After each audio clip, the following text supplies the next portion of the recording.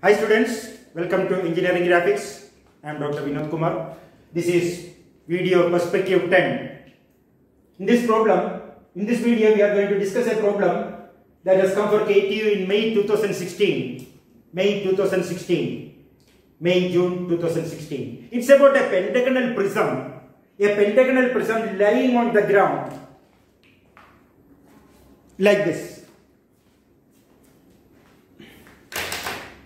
A pentagonal prism lying on the ground on a rectangular face with the front pentagonal face touching picture plane. If this is picture plane, if this is picture plane, it is touching picture plane. Agreed? This is the this is the prism. Now we will use visual method to draw this. Therefore, I draw picture plane I have to draw the plan of the prism. Before drawing the plan of the prism, I draw HL here, GL here, and I draw a pentagon. I draw a pentagon whose side is 25 mm.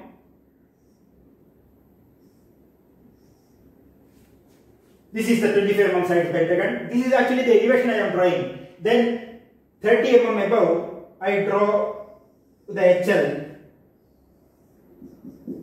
I have drawn the HL and GL. Now, take this width and draw the plan.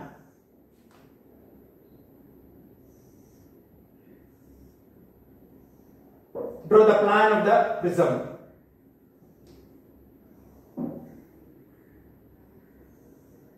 Draw the plan of the prism. This is projected from this. Okay.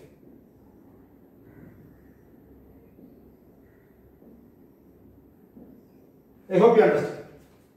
I call this A dash, B dash, C dash, D dash, E dash, F dash, G dash, H dash, I dash, J dash and this is A, B, C, D, E, F, G, H, I, J.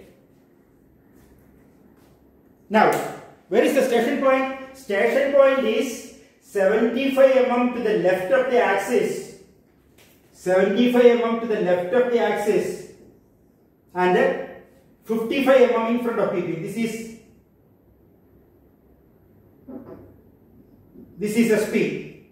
So that this is SP dash I am going for visual ray method. I am going for visual ray method. Okay now I join all points of the plan I mean all points of the elevation to SP dash.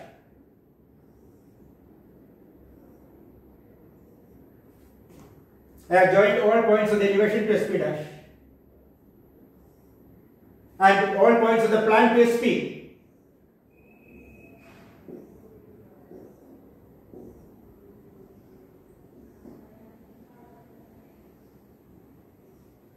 These are the intercepts.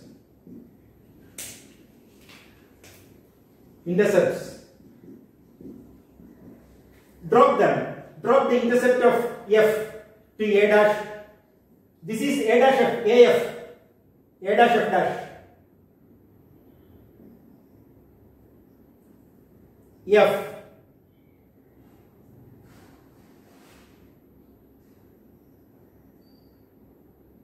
G.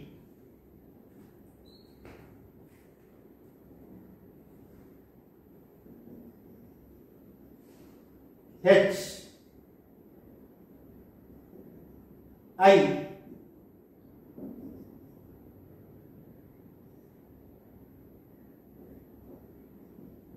J. Now, since the front pentagonal face is touching picture plane, this elevation itself is the perspective view of the pentagonal face. Since the front pentagonal face is touching picture plane, this itself is the perspective view of the front pentagonal face. Now, once you have got those points, G, the, this intercept of G is different. This is the intercept of G. G. Now you can connect FG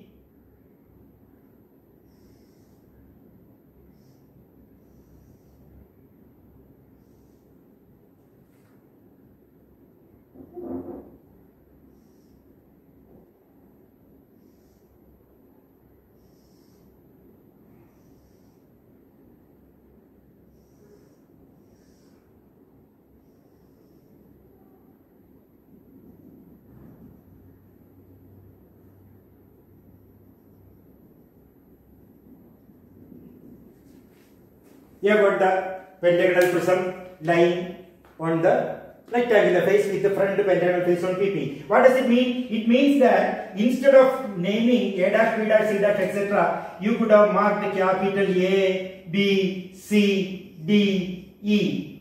Because those points themselves finally become the perspective view of the front pentagonal face. That would have been better than writing A dash, B dash, C dash, etc. But for concept, when you are drawing elevation, you have to mark A dash, B dash. That's why I do that. Now, listen very carefully. If you pull the prism back by some distance, pull the prism back by some distance, what happens?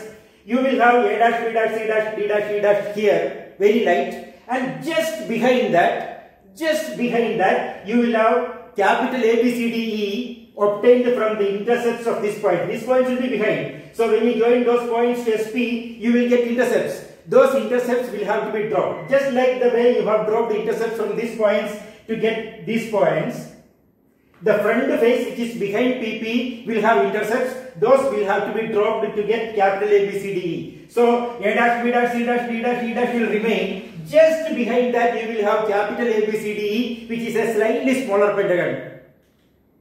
Here, since that front face is touching picture plane, that pentagon doesn't come. The elevation itself becomes capital A, B, C, D, E. When it is pulled back, in addition to the elevation which is very light, A dash, B dash, C dash, D dash, you will have capital A, B, C, D, E which represents the perspective view of the front pentagonal face. Now, similar to this, you have hexagonal prism touching picture plane and again pulled back behind picture plane. Square prism touching picture plane and pulled back behind picture plane. Triangular prism, anything can come. This is the basic principle. You have to first of all draw the elevation. From the width, draw the plan and proceed like that. But if station point comes nearer to nearer to this area, it is not very wise to go for visual ray method. You may have to go for mix up mixing of the two methods of vanishing point. I hope you understand. Okay. This question is extremely important. This has repeatedly come for all universities. Okay. Thank you.